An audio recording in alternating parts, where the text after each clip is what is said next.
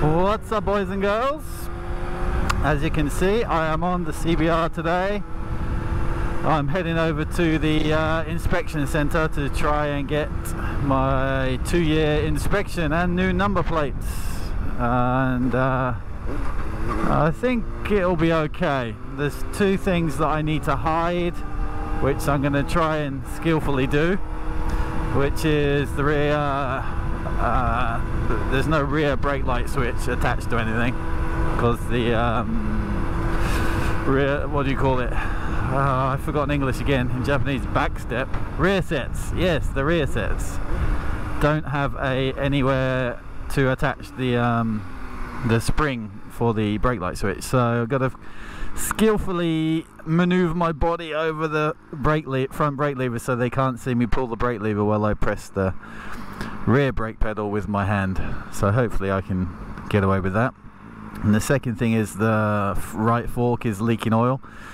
So basically just before the test I'm gonna wipe that down. So hopefully they won't see. It's pretty tucked under there. You can't really see it because of the front fender so I'm hoping that I'll get away with that too. But other than that uh, yeah I think it's basically road legal road ready GP shift is taking a bit of getting used to. I just stopped to the stop stopped to get some gas and I couldn't find neutral. I kept going the wrong way through the gearbox and I was like, oh fuck it. So I just turned the engine off and then found it while I was while the guy was filling it up. So yeah, that's going to take a bit of getting used to, but it's fun anyway. GP shift is kind of fun.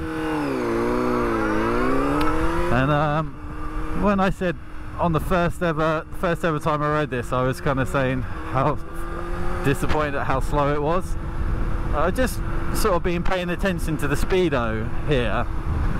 And like it gets to you know it's like 60 miles an hour 100 kilometers an hour in just no time at all. So as, as much as I thought it was slow I think it's just the lack of torque made me think it was slow but in actual fact it is fast. So yeah that was um, probably just me being used to a torquey twin like the MT-07 and then jumping on a 4 and thinking what the hell? But uh, yeah. I actually starting to starting to enjoy this engine a bit now. Uh, rear tyres well all the tyres are new so it's pretty slippery at the minute. I should probably do some weaving to try and scrub them in a bit but people will think I'm a dick if I do that. Come on get out of the way you cunt Yeah, I mean first gear will get to 100. So yeah, I guess I was just my brain wasn't adjusted properly to um, a 4. But um, apart from that, this is like the third time ever of riding this bike. And I, I don't know, it's the position is not really good for me. I feel pretty cramped on this bike as as um, like the MT-07 was just physically so small. This is a fairly small bike but I really do feel cramped. Like if I'm trying to tuck to get under the under the screen like if I want to go do a top speed test or whatever I don't think I'm gonna fit you know? So um, mm, as much as I do like this bike I'm not sure if it's really suitable for me. But anyway today's mission is just to get the inspection done. And we can think about think about other things like buying new bikes afterwards. So anyway it's a fairly boring journey to the uh, inspection center so maybe I'll see you guys there. Oh, fuck this. Alright boring fucking journey. Almost there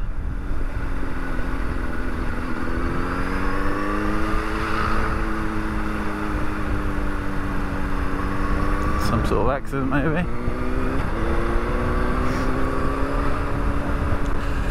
Right, almost there. So one thing I hadn't considered is um, I've had the fairing completely off, right? I've had the headlight apart. So like I, because I've been being anal, I was cleaning inside like all the nooks and crannies and shit.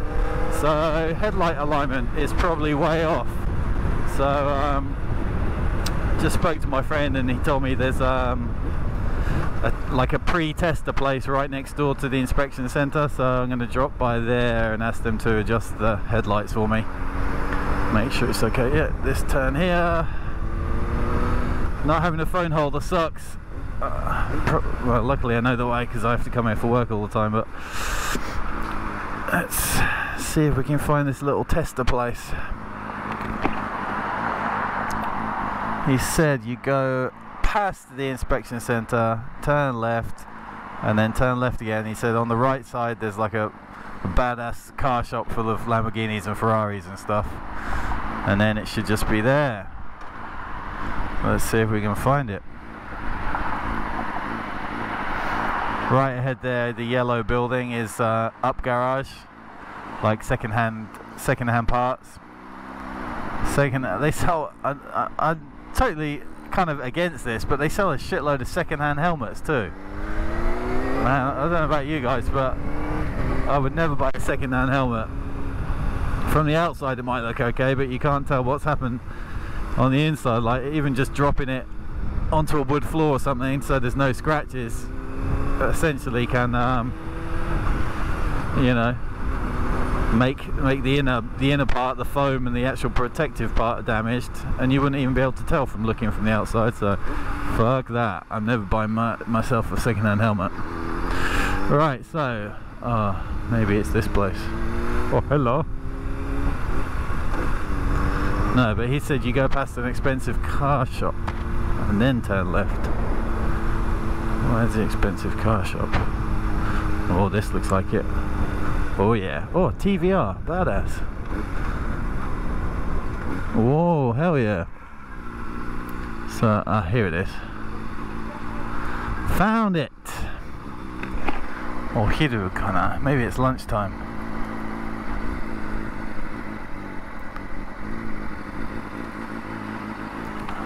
Oh.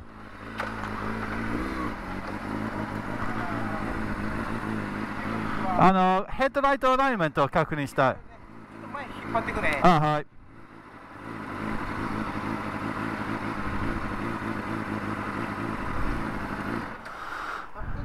あ、いい？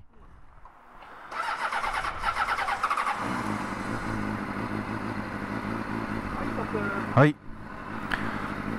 乗った方がいい？うん、乗っといて。あ。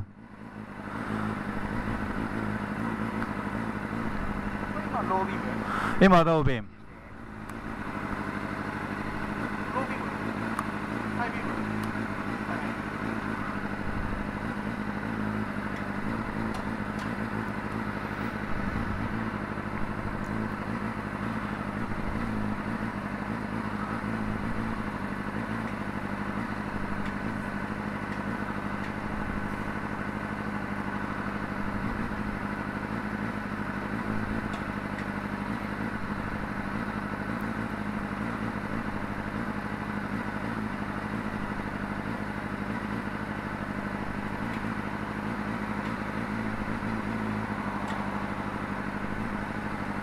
молодцы.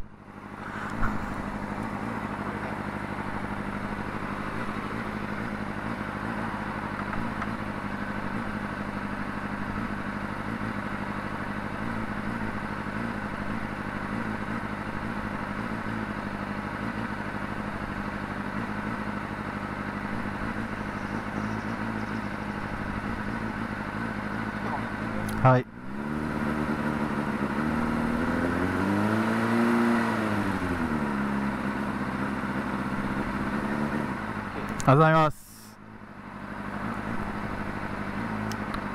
陸運局でちょっと回転上げといてください。ああ了解了解。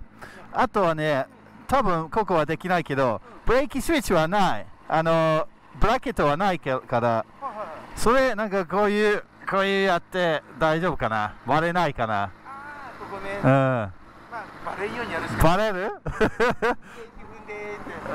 はい。OK やってみる。はい前出してください。はい。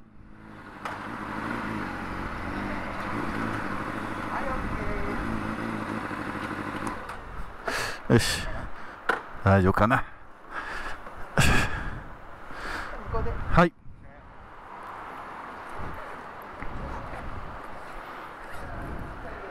Where's my wallet?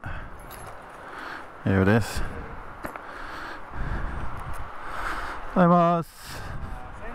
1650円はーい。はい、2000円。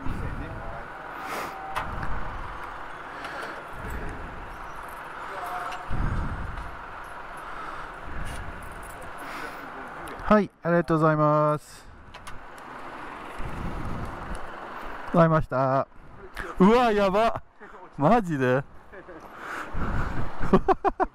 ねそうなあいいよこタイラップあるありがとうございます Wait for me you can't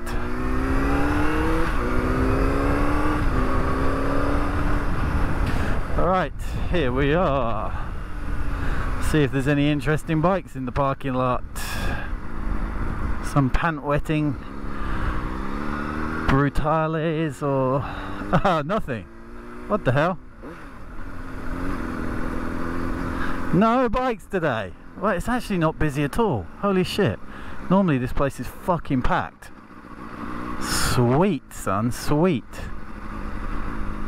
We can hopefully get this done in no time today. Normally coming here is a fucking nightmare. I have to come here for work all the time. I fucking hate it.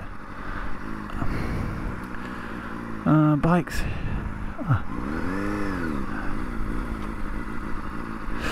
Right then. Can I find neutral? No, yes. Right, so inside that place there is where you do all the bullshit paperwork.